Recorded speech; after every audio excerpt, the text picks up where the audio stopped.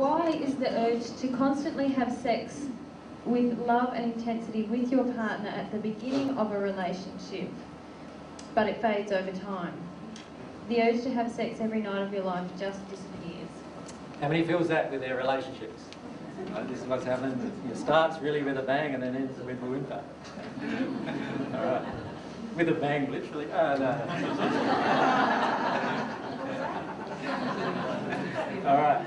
And we've already covered that a little, haven't we, today? But, but let's go a bit, a bit deeper into the issue because it's important. When we first meet a person, remember all of our chakras open at a certain level because of the law of attraction operating. So the law of attraction operating, my injury, their injury and so forth. And so we feel this strong desire. Now remember that almost every relationship on earth begins this way. There's hardly any relationship on earth that begins in a pure way. In the sense that both are just in desire, both are soulmates and they just meet and everything's happy ever after, right? No, that very rarely occurs, right? So what happens is the two meet and they're meeting and being drawn together by injuries, of which some of them, of course, are sexual. But even the ones that aren't sexual, if the injuries are compatible, they'll cause a flow of energy through you, which will result in sexual arousal in many cases. So this is what's happening. So right at the beginning, that's quite intense. Right? But then as time goes on, right, you start working through some of those injuries for a start, because that's why you've been drawn together. And then on top of that, you start seeing the flaws in the other person and that detunes desire, and so the desire starts waning. You see more flaws, and that detunes desire even further. Both of you are looking at each other instead of looking at yourself and dealing with your emotions generally.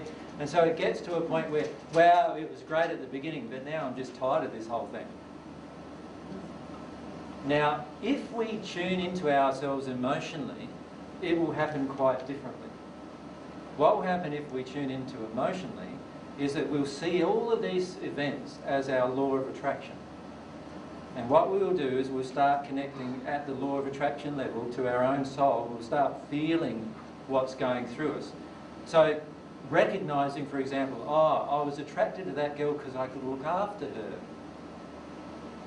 And the more I had to look after her, the more tired I became of looking after her, which is my law of attraction to expose this emotion of me wanting to look after women.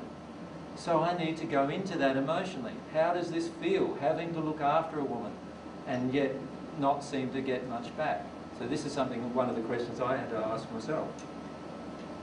Once I go into those things emotionally and release those emotions, one of two things will happen. My partner will look at the emotions of why she wants to be looked after or she will naturally want to leave. That's the two things that will happen. Right?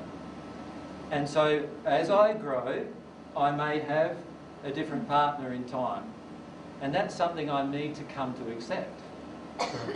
that if a relationship wanes, that probably at the beginning what was happening was that there were emotional injuries that were part of the attraction and that those emotional injuries are waning in their power and therefore the draw of the two of us together is much less strong. Can I add to that?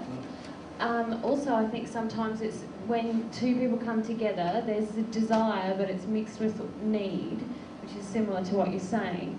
But sometimes then once we get all cosy and get a house and some of the needs perhaps of the woman were I want to feel loved and secure and safe and so all of those needs are being met in other areas of the relationship so the sex suddenly is not as an important uh, ingredient, ingredient mm. in the relationship so I think the point is sex in a healthy relationship is always present so if it's not there then there's something else uh, going on mm. and sex in a normal relationship actually in, a, in a, a relationship that continues to grow, the sex will continue to grow. It won't actually be stagnant. It will continue to intensify in its experience. So if it's not, look at the emotional barriers you yourself have to that occurring. And usually it's issues of vulnerability, openness, honesty, truthfulness, and lots of other issues like that all impact upon your sexual feelings.